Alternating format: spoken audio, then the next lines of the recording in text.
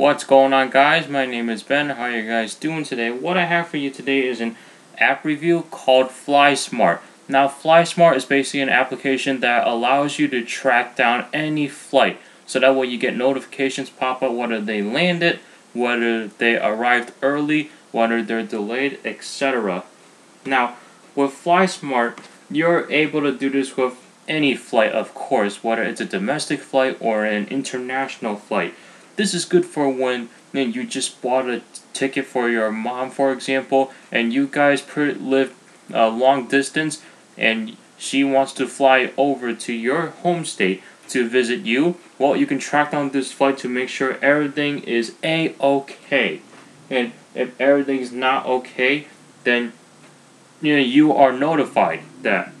So, the way the notifications work on this uh, application is that you have the badges, of course, uh, as part of some of your notifications, but what you also have is the alerts and then the sounds. So that's a plus, so that way you're aware of what, right away whether your phone is locked or mm, whether, well, whether you're doing something, for example.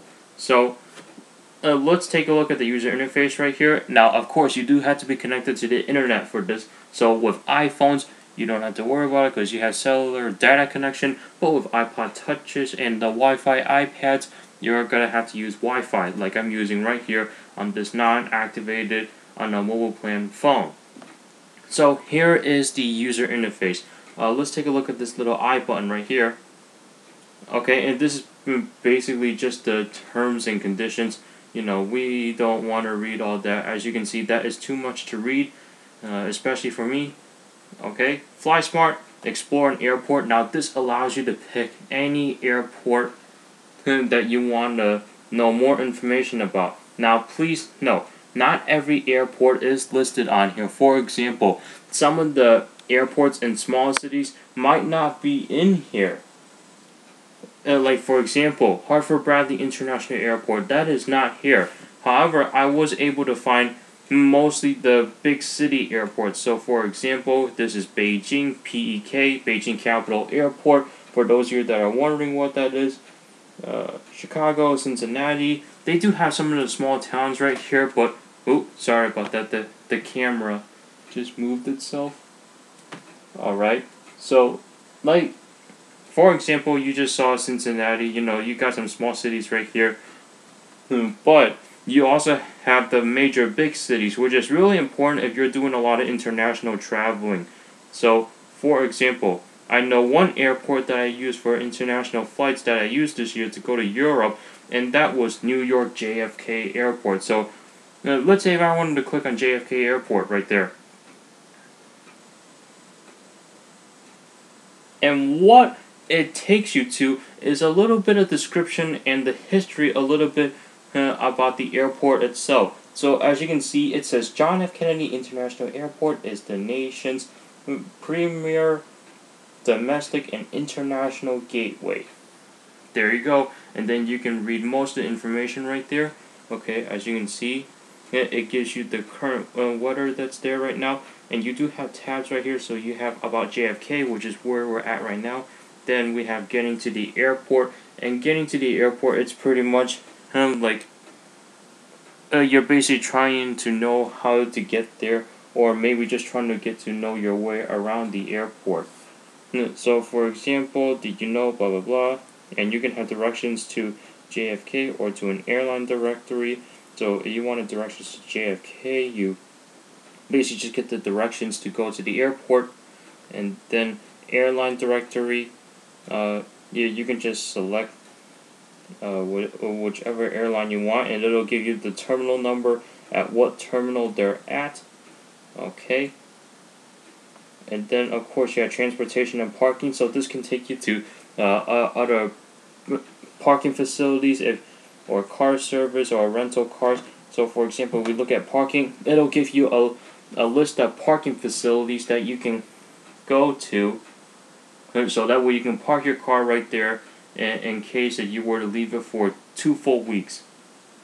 Now, one of the things that I uh, do want you guys to know, be aware about is that it seems like not every parking facility is listed here.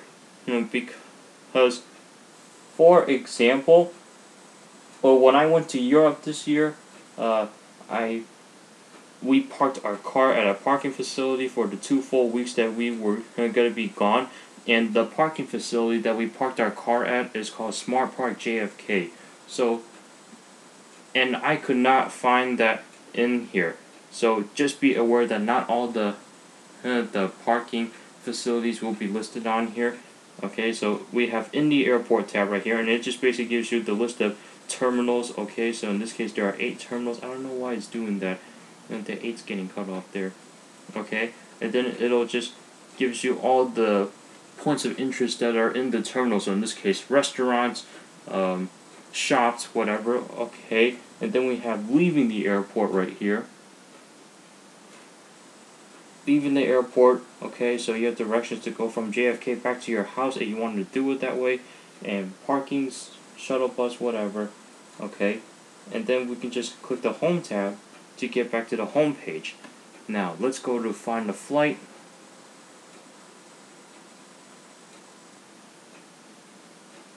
Okay, and today is August 22nd, 2012. So, what I'm going to do is select the departing airport.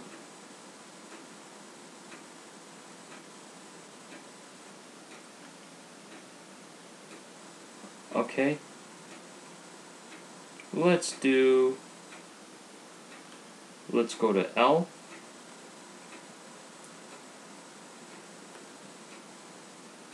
And we'll do London. So Heathrow Airport right there.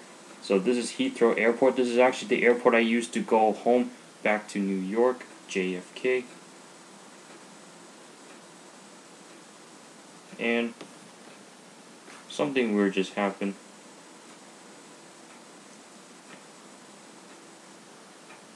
So I selected the departing airport.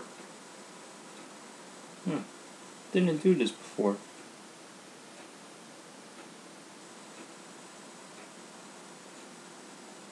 Okay, there we go. I don't know what happened there. It must have been some sort of glitch. Now I'm going to select the arriving airport. And we'll do New York. So New York, JFK, where is it? New York JFK. Sorry if I'm missing anything. okay. And now it should give you some search results. Now the first time I did this, it didn't give me any search results at all. What I actually had to do was uh, enter the actual flight number. And you can do that too. You do know, you know your flight number. Okay, so as you can see, it gives you some information on some of the flights right here. So for example, you see some of the flights that have already landed, okay, and what time it departed and what time it arrived, uh, okay, and then it'll give you some information on whether the the planes are still in the air or maybe it arrived early or maybe it's delayed like these are delayed. Uh, and then this is on time as you can see right there so the ones that are on time then they're gonna you know, catch the flight on time and then aren't to ruin their schedule. So I can't demonstrate uh, a, a flight right now because some of them um, are already landed, some of them are on time, and then some of them are delayed. Otherwise, I would have been able to show you guys how to uh, how the notifications pop up and work. Uh, but what I'm gonna do right now is now I'll just throw in a little picture right here and then let you guys kind of see what it'll look like if you were to just leave this app off on your phone and then you, you just let it sit there and have the notification pop up whenever it's delayed, whenever it's, uh, you know, etc.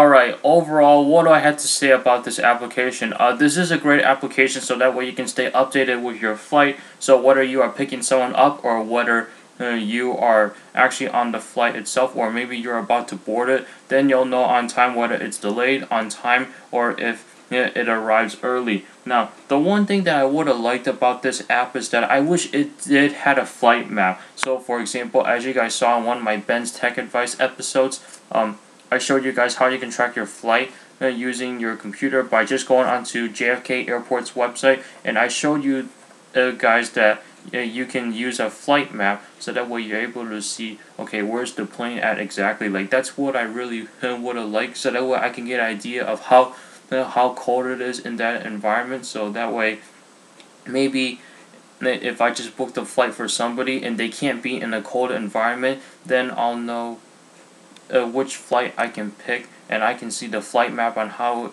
uh, they're going to be flying it like where they're going to be flying it to so that way uh, they'll arrive at the destination safely that way I can give some heads up on whether they need to wear a heavy jacket or a light jacket's fine or they don't have to do anything. I don't know. That's just um, my sense of humor. You guys probably don't have to do that.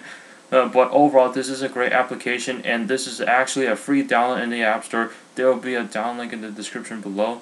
Thank you so much for watching and I will see you guys in the next video. You have a good day now and take care.